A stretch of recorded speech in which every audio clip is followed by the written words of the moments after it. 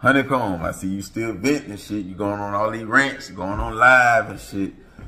Hey man, understand it's a big difference between J. Prince and Birdman.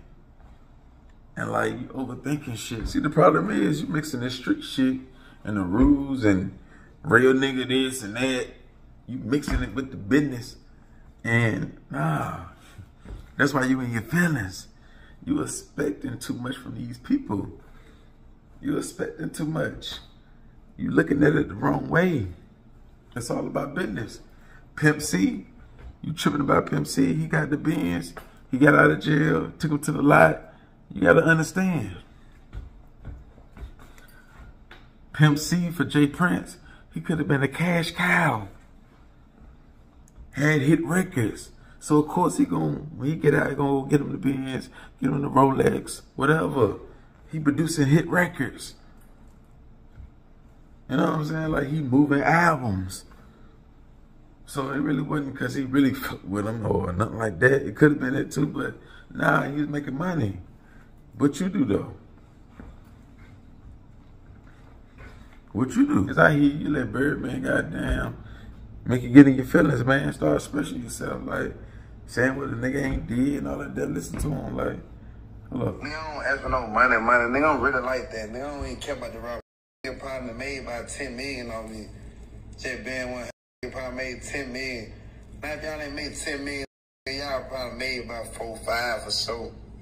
Cause nigga, when I had my own YouTube, I was clocking that shit in. So I was clocking in on them folks, man. I knew I was grabbing 50 balls on my shit. This before I even got to popping like this.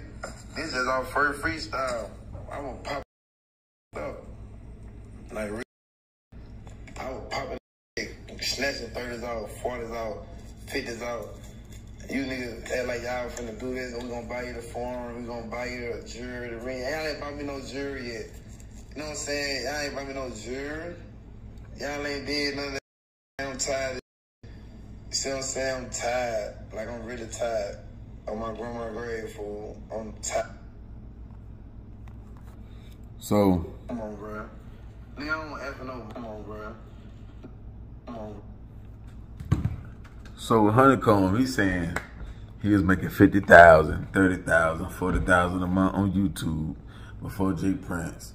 You understand? He came in, he took that away once he signed the deal.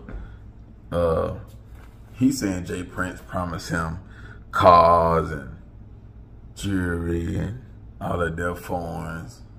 He did none of that there, right? He never even came to his hood. Nothing, right? He ain't get the real nigga treatment when he came out. You know what I'm saying? Like, but what Honeycomb gotta realize, it's a lot of shit you ain't done. J. Prince, we hear your side, we can hear his shit. He can say a whole bunch of shit. You ain't sold out no arenas. You ain't went number one, number two, number three, number four, number five on the billboard. You ain't got up to 50 to 100,000 a show. You ain't had no hit records. You had millions of views on YouTube. That's it. That's That can't be the only, you making 50,000 a month. That's your best month. They, you can't be serious. Hey, hey, Junior, bring out that finesse two-time plat. They go plat. Bring out them Drake, platinum plat, diamond plat, whatever. He on just like, nah, man, it's more than YouTube. Yeah, you doing your thing, but yeah, we saying we gonna give you all this, expecting. I mean, we thinking that you gonna produce the numbers, you gonna sell the records, you gonna stay out of jail. You gonna really bring in some money, like we gonna get money, like everybody. You know what I'm saying? But ain't no need to invest into something that gonna crash. Like you're gonna go to jail, something gonna happen. Like a lot of bullshit. The numbers, you yeah, you putting out music, yeah, you spitting, but hey, these hit records and these YouTube records, it's a difference. You know what I'm saying? So we still can get you the foreign and we can get you the jury, but it's gonna come out your pocket. You gonna be in the red. You see what I'm saying? Like, J. Prince, he ain't gonna really respect that you going online. You can hit his phone. You upset about something. talk about that shit on the phone. Don't make it seem like, you know what I'm saying? Don't make it seem like that. Don't pin us two uh, against each other. Don't pin us two against each other. Like, chill. You know what I'm saying? Like, be a gangster. Like, keep saying that you really like that. Like, you just a warlord or something. Like, you don't know how to keep it. You got no respect. You ain't got no respect. Like, this shit ain't gonna get you far in this business shit. Like, you trying to mix these street politics and all that stuff. Just cause a nigga uh, come to your hood, that don't mean he won't fuck you over too. He'll come to your hood, show you love, give you all this shit. Man, that don't mean nothing, man. Ask them cash money artists. That's how J. Prince can feel, or you know what I'm saying, when his partners can. But Birdman, he just different. He more hands on. When he gonna pull up on you. He gonna respect the gangster. Like he more in the field like that. You know what I'm saying? Like it's more success over there. Like these niggas, real street niggas. Like you gonna have more respect for Birdman for a lot of reasons. Like, look, he putting his life in your hands. He coming to your city, your hood, whatever. He pulling up like he did Gillie. You know what I'm saying? Pull up on you, fuck with you. You that's gonna make you respect him more than J. Prince. And he gonna be ready to give you a bad. He gonna want his percentage and all of that, but you're gonna shine harder.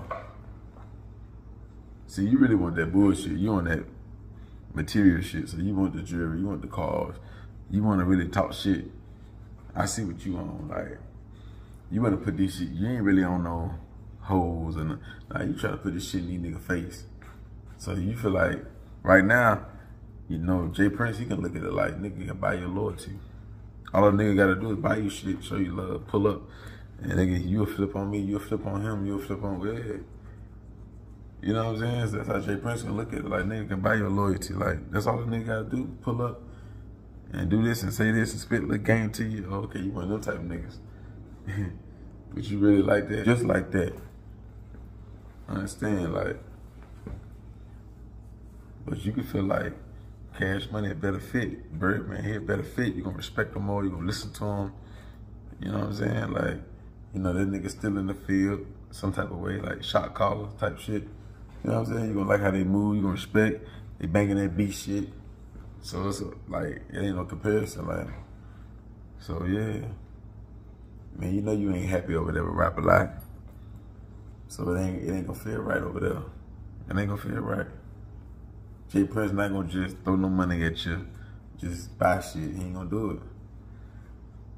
You gonna have to get it out the mud, so yeah.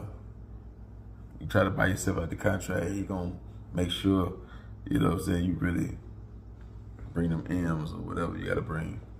However you gonna play it. Then you gonna start dissing them. You know what I'm saying? Like I can see where this shit going. But Brazy, it don't matter if you cash money, you Rap-A-Lot, you into it with J. Prince, him, him, mob ties, finesse. You still need hit records. You still need hit records. So you'll just be a sitting duck with a whole bunch of jewelry and a cash money piece and a lease foreign or whatever. Now you still be sitting on the label. He ain't gonna put you on the Drake albums, the Lil Wayne albums, the Nicki Minaj. Nah, it ain't be none of that. You ain't even doing your part. He get you all that shit. He gonna expect, you know, you to really take over the streets. Do your shit. He gonna help you, but you gonna have to do your shit. Come up with shit.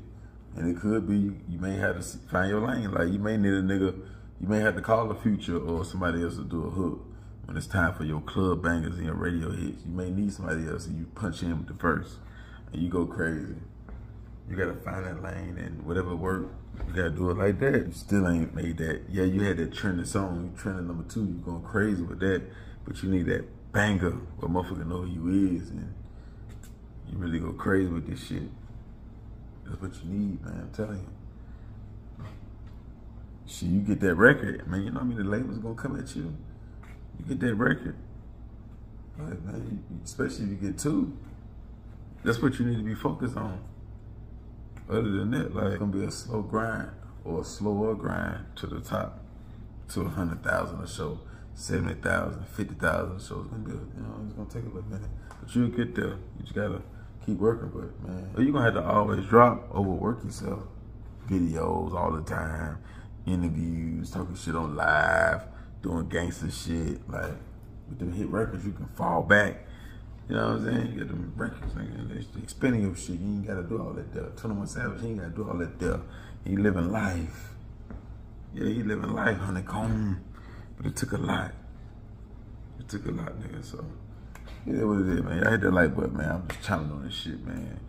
Y'all know the IG, the underscore game underscore spitter. You know the cash app in the bio. Subscribe.